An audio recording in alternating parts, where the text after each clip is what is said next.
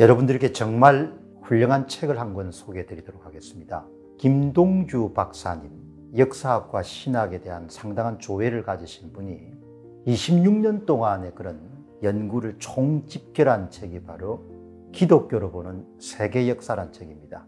제 자신이 작가로서 한 100여 권 정도의 책을 썼지만 정말 대작이다라는 생각이 듭니다.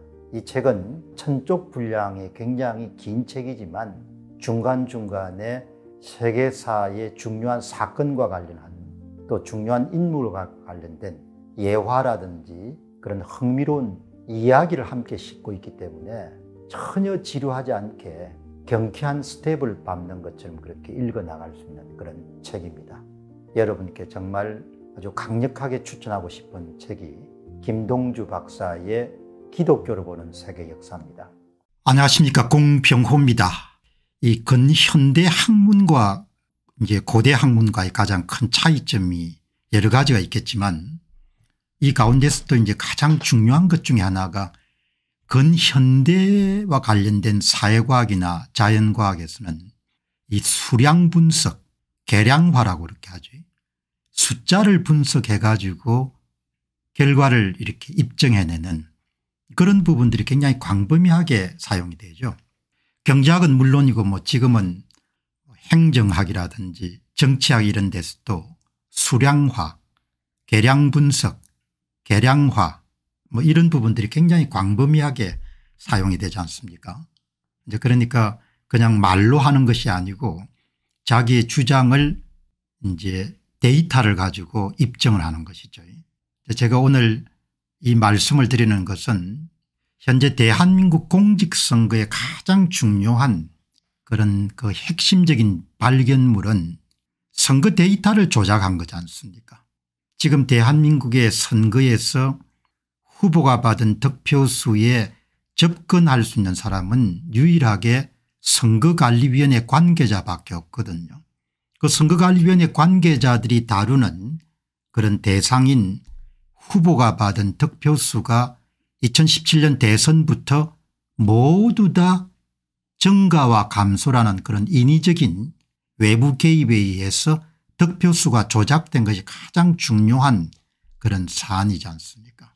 그렇기 때문에 제가 예를 들면 이렇게 지난 상반기 동안 이 다섯 건의 부정선거 해부 시리즈 도둑놈들 1권부터 5권을 이렇게 발표하더라도 반론이 전혀 없지 않습니까 반론을 할 수 없는 것은 그냥 선거 데이터를 조작했으면 조작한 거고 조작하지 않았으면 조작하지 않은 거거든요. 그 중간에 뭐 조작한 것 같기도 하고 조작하지 않은 것 같기도 하고 이런 건 없는 겁니다.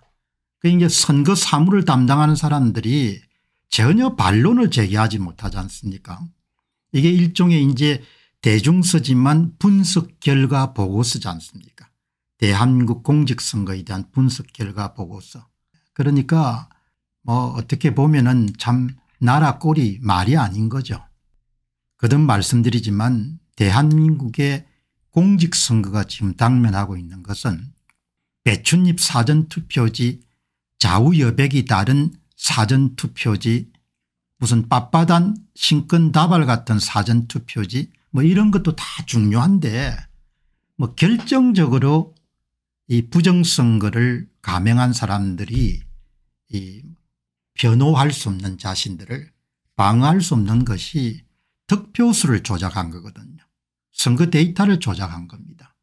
그 이제 조선 사람들은 그런 근대 교육 현대 교육을 못 받았기 때문에 그냥 엉뚱한 소리를 할 수 있을지 모르겠지만 대한민국에서 정규 교육 과정을 밟은 사람 같으면 굳이 학위 같은 걸 받지 않더라도 양심의 철판을 깔지 않는 한 선관위가 만들어서 발표한 자료를 보게 되면 은아이 자료를 조작했구나 이런 것을 이야기할 수 있는 거죠. 페이스북을 오늘 들어가 보니까 저 페이스북에 신광조란 님이 반론을 제기했더라고요. 부정선거 총정리 1 부정선거 어떻게 해왔나 이런 선거 데이터 분석에 대해서 말이 안 되는 이야기다. 그러면 그걸 또 다 모든 콘텐츠에 다 붙여놨습니다. 부정선거 총정리 2 누가 주도했는가 말도 안 되는 주장을 공명호 씨가 하고 있다. 이렇게 이야기를 하는 겁니다. 그래서 신광조란 분이 어떤 분인가 보니까 연세대학교에서 정치 외교학을 전공을 했고 연배가 좀 되신 분 같네요. 광주 제1고등학교를 졸업했고 미네소타 트윈시티의 대학을 졸업했고 public administration이니까 행정학을 이야기하는 거죠. 그렇게 배움도 좀 있는 분인데 어떻게 이런 이야기를 하는가 그래서 제가 한번 자세히 들어가 봤습니다. 다른 이야기는 다 그냥 뭐 언급할 필요가 없는 것이고 핵심 주장은 공병호가 말도 안 되는 주장을 하고 있다. 착각을 하고 있다. 당일 선거와 사전투표 득표율 차이가 일률적으로 나타난 것이 착각을 불러일으키게 한 것 같다. 그것은 사전투표자와 당일 투표자의 투표 성향이 확실히 다르기 때문이다. 사전투표는 성격이 급한 민주당 지지자가 당일 투표는 상대적으로 성격이 너끈한 국민의힘 지지자가 투표에 더 많이 참여한 것이 이유이다. 연세대학교 정치외교학과를 어떻게 나왔는지 잘 모르겠네요. 예.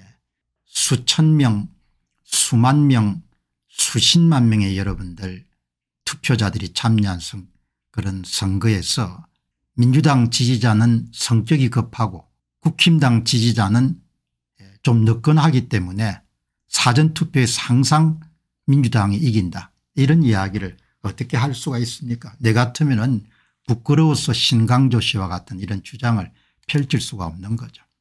이런 반론의 아주 핵심 주장은 공병호의 주장이 잘못됐다. 그리고 사전투표와 당일투표가 그렇게 일률적으로 차이가 나는 것은 민주당 지지자는 성격이 급하고 국힘당 지지자는 성격이 급하지 않고 너끈하기 때문에 차이가 난다. 이렇게 하니까 일단 말이 안 되는 예, 통계학의 abc를 이렇게 조금이라도 아는 사람은 말이 안 되는 이야기죠.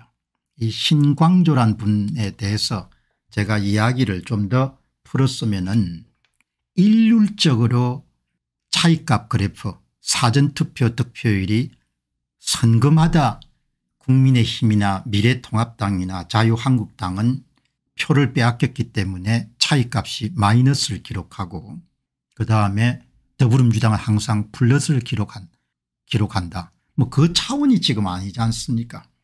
선거관리위원회가 발표한 선거 데이터를 분석하게 되면 정확한 규칙을 찾아낼 수 있지 않습니까?